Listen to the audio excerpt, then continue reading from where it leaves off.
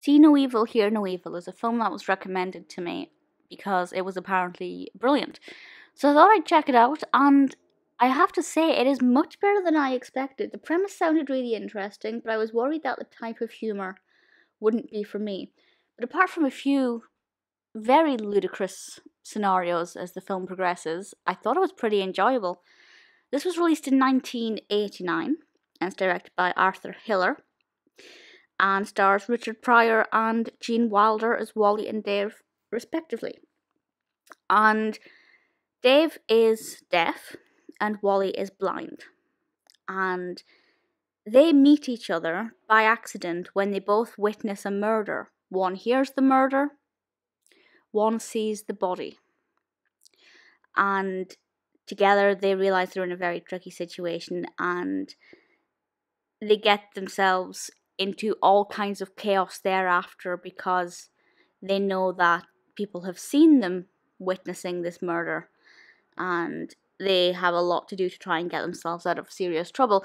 Obviously, because one is deaf and one is blind, everything is more complicated than it would be in a normal film because there are many films where people witness murders and, you know, trouble ensues but this one just takes it to a whole new level. It's also worth pointing out that for quite a while, neither of them knows the other one is deaf or blind, and first of all, that does make it quite funny to begin with, but there does get to a point where I just think, well, why don't you just say, I'm deaf or I'm blind?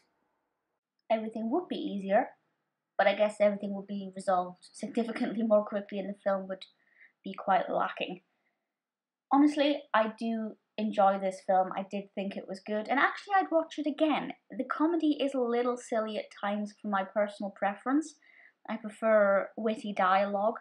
This is well, actually, it's not all visual humor, but it's it's um, I think it's kind of easy access, which works. It really works for this film.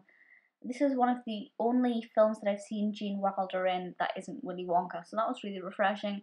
I think this was the first Richard Pryor film I saw. Kevin Spacey's in it. Uh, it's got a pretty decent cast. The acting was good. Obviously, the acting from Pryor and Wilder was phenomenal. They're playing really difficult roles, particularly I think Pryor, because playing a man who had being a man with sight, playing a man with no vision is not going to be an easy task because your eyes naturally go to where the action is and I think he did an absolutely phenomenal job. And the same with Wilder, and not necessarily just absently turning towards where the action is. I think they were both plugged in very well, and they did a great job. So would I recommend it? Absolutely. I do think it's great fun. I think it's going to become, well, it probably already is a classic. I think it would become a timeless classic. I think it's something pretty much anybody can enjoy because the premise is simple enough, but in execution is quite complicated and it works really well.